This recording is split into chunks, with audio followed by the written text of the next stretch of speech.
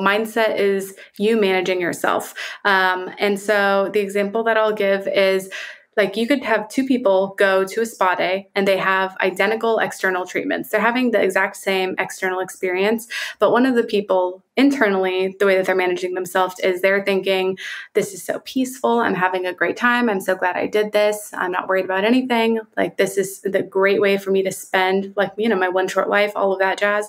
And then the other person internally is thinking, I have so much to do. I shouldn't have spent my money this way. I feel guilty for being here. I, like, as soon as I finish this, I've got to go do these other things. They're making like a mental checklist.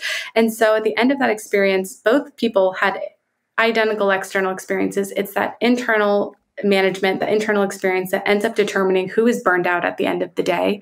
Um, and I really think that that just brings home that so much of it is that personal management. And if you can do that well and you can just start to hear your thoughts, start to pay attention to how you're doing that, you can talk yourself down from most stressors. And uh, as much as we like to think it's all of these outside moving pieces. Sometimes it, it definitely is, but it's like gentle parenting yourself through them makes it so much easier and better and more peaceful and creates a softer landing pad for you when things do get hard.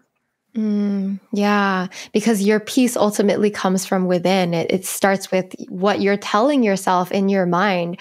I love talking about mindset uh, uh, because it, it really is like the starting point for how you experience your life like you said you can have the same exact external experience but it it's all sh- it all gets filtered through the mind so yes. whether it, it's it's positive or negative that's on you actually definitely that's actually mm-hmm. another concept where it's like if you if you if people who for people who trouble or have trouble visualizing mindset imagine that the, your thoughts or somebody strapped to your hip. Like, is that person an asshole? Like, is that somebody who's criticizing you and telling you to make yourself smaller and is embarrassed of you and is really hard on you? Um, and why would you want to be vulnerable, even just like with yourself, with that person strapped to you?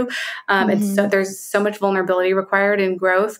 Um, but why would you be if you've learned that person's just going to kind of slap my hand, as opposed to that person being really supportive, comforting you, talking you through, like challenging you and making you better. So if your mindset was strapped to you, would you not like them? And that is usually a okay, let's back it up and introduce some some different methods of personal management here.